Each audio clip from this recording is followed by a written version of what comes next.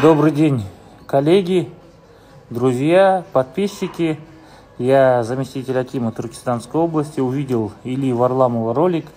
Сейчас вот проехался по э, мавзолею, по территории культурно-духовной э, духовного центра. Не, не смог найти Илью, где-то, наверное, он разминулись мы с ним.